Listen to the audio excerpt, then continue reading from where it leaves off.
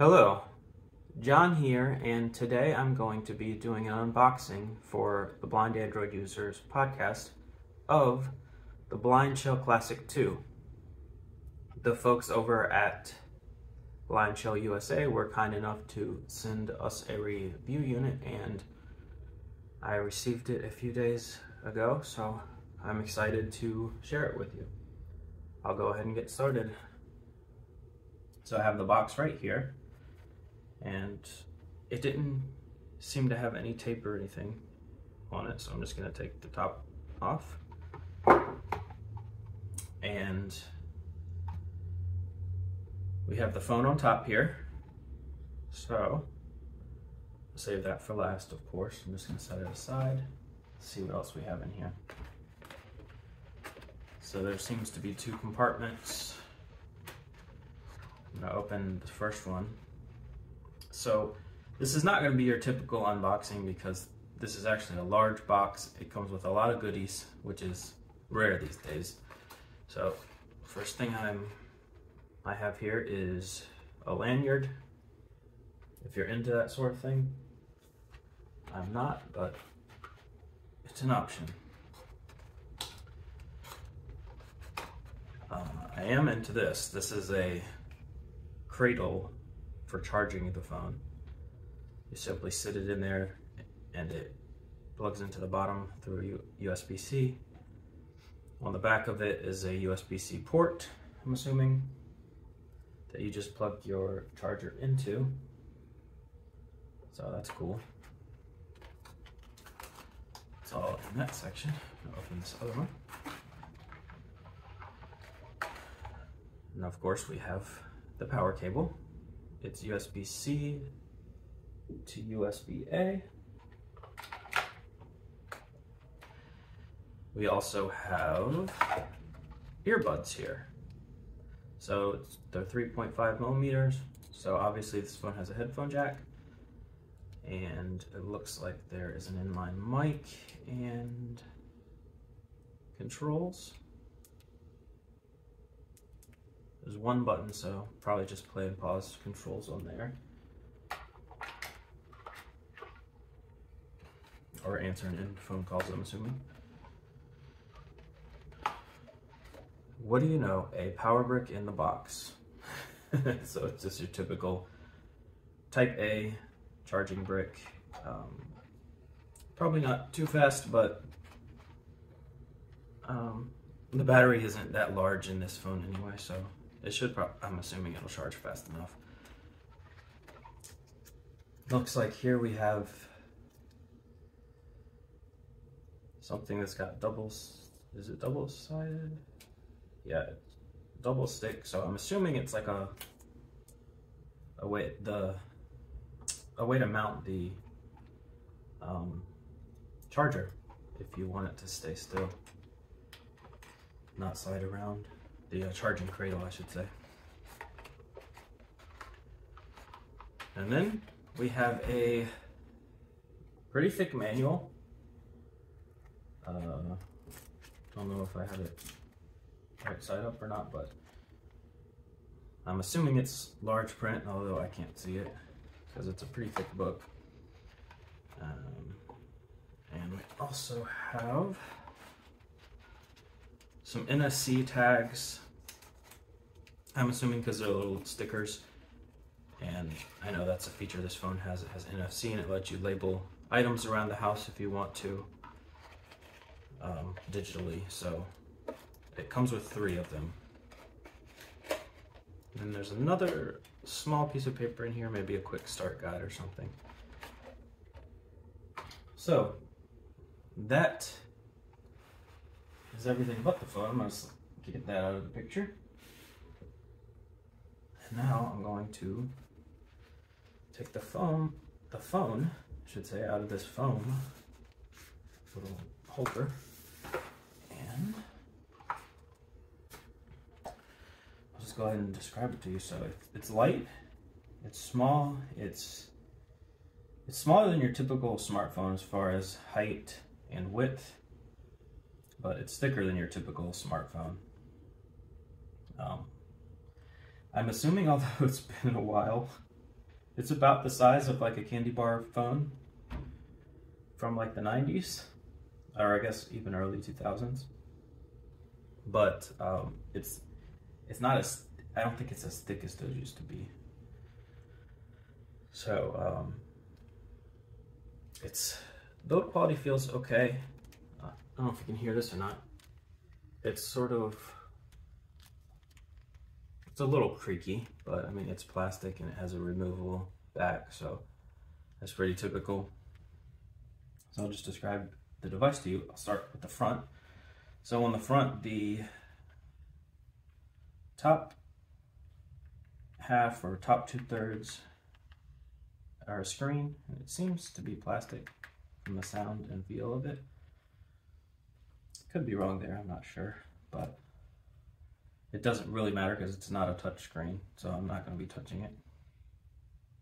Um, and then I'll just describe the buttons to you. So below the screen, there is two rows of three buttons, and then under that is just your standard keypad. So the first row of buttons are an action button, a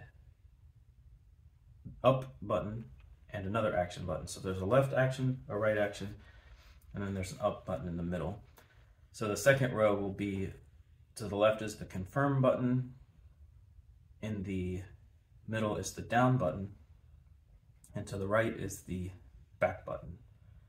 And just to describe the textures of them, the, the uh, action buttons have bumps on them, just little small bumps. The up and down keys have a horizontal line on them.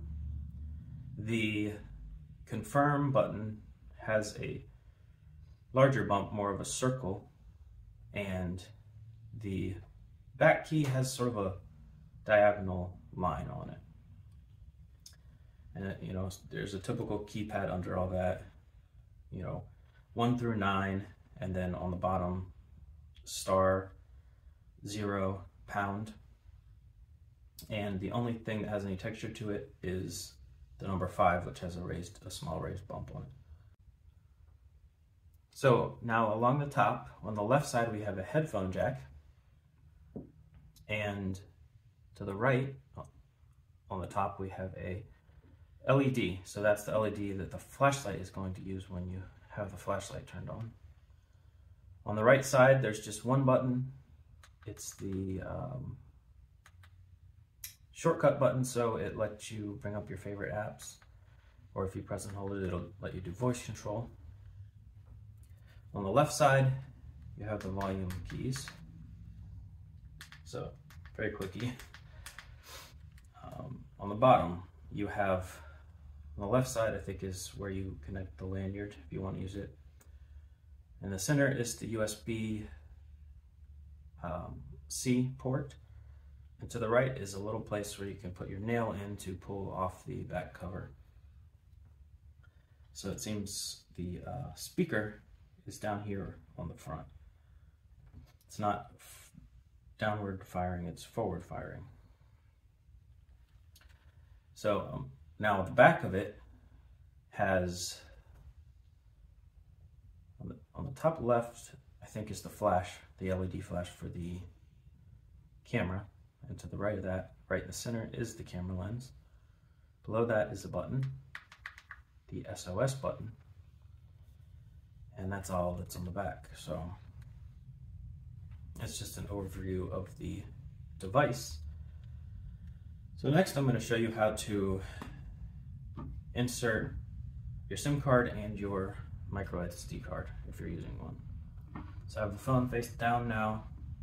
I'm going to use put my nail in the bottom left corner to pry this off. Set it aside. And so you can feel, once you have the back off, most of it is battery. So it goes basically all the way up until right under the SOS button. And along the top side of the battery, Oh, near the right edge, there's a place where you can sort of grab onto it with your nail and pull it up. So I'm going to pull it up from there. Set the battery aside. And now you'll notice, and you can feel this, there's three places in here to put your cards. To the left is SIM 1, to the center is SIM 2, and all the way to the right, the smaller section is for the micro SD card. And I was surprised to find that this actually uses micro SIM cards, not nano SIM cards. And I think it's been a while since I've had a phone, almost 10 years since I've had a phone that had a micro SIM. So I actually had to get an adapter, but I'm going to show you how to insert the SIM card and the micro SD card. I have them over here somewhere. All right, here we go. So here's my SIM card. I have a nano SIM inserted into an adapter that is the shape of a micro SIM. What you're going to want to do is